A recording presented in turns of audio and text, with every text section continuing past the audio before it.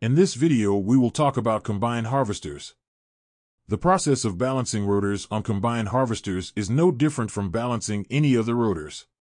For example, fans, crushers, mulchers, augers, rotary machines, rotor motors, separators, couplings, spindles of CNC machines, hammer mills, centrifuges, flail mowers, sharpening stones. But each machine has its own nuance that you need to be aware of and pay attention to before balancing. If it is a rotary combine, the main rotor can be balanced. In keyboard harvesters, you can balance the threshing drum, the beater.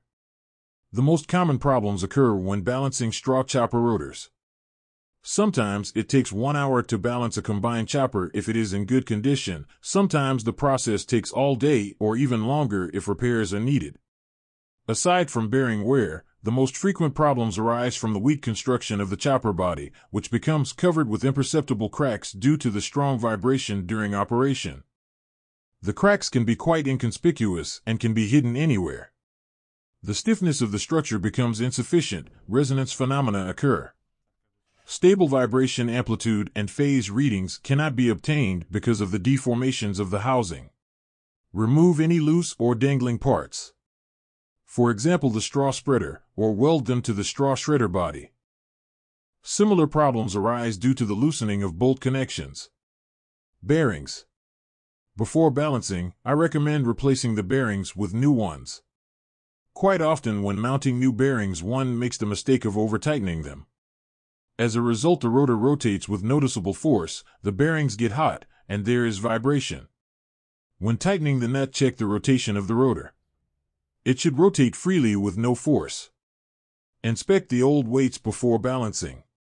It is very likely that the nut has worn down and the weight should be removed because it may come out during running. Check the blades, they may be jammed and not straightened by centrifugal force. The worst thing is when they do it intermittently. Check the idler pulleys. Remove the belts and check the bearings for backlash. Replace the bearings if necessary. Rollers that are at or near the same RPM as the shredder can be a source of interference when measuring vibration levels. To identify such problems, vibration can be measured for several minutes in the vibration meter mode. If the roller has an imbalance of its own, you will notice a wave-like change in the vibration reading when you measure the vibration in the vibrometer mode.